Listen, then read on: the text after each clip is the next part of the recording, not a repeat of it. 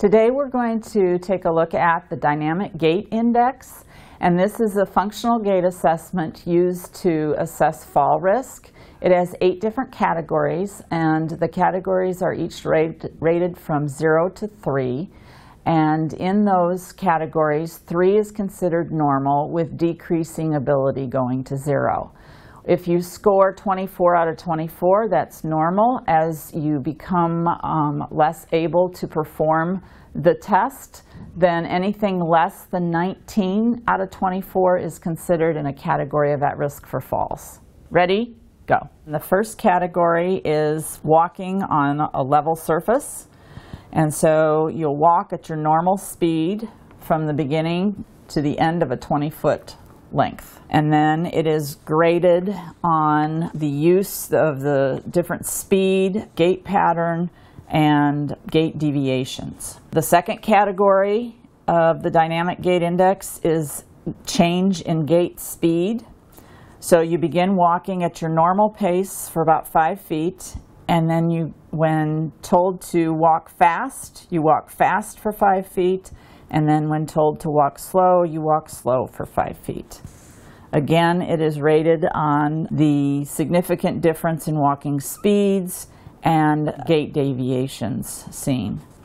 Category three of the dynamic gait index is for gait with horizontal head turns. You begin walking looking straight ahead at your normal pace, and then when told, you look to the right uh, for about three steps, and then you look to the left for about three steps.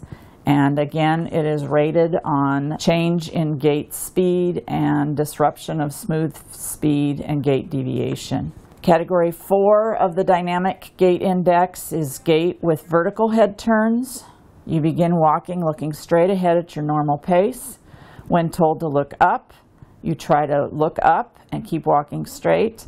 And then when you're told to look down, you walk with your head looking down for three steps.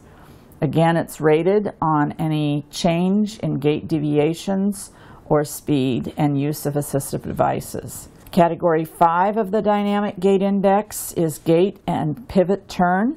With this one, you begin walking at your normal pace, and when told to turn and stop, you quickly turn and face the opposite direction and stop. This one is rated to be done within three seconds and if there's any mild impairment or gait deviations or seen with having to catch themselves. Category 6 of the Dynamic Gait Index is stepping over an obstacle.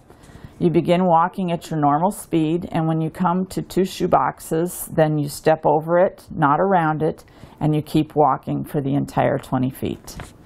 Again, this is rated on gait speed and deviation. Category 7 of the Dynamic Gait Index is step around obstacles. You begin walking at your normal speed, and when you come to the first box or cone, then you walk around it on the right side of it, and when you come to the second cone, you walk around it on the left side and continue for 20 feet. It is rated on change of speed with obstacles and gait deviations. Category 8 of the Dynamic Gait Index is ambulating on stairs. You walk upstairs as you would at home, using the rail if necessary, and at the top you turn around and walk down. This is rated on whether there's alternating feet on the stairs with no rail, alternating feet with the use of rail, two feet to the same stairs with rail, or cannot perform safely.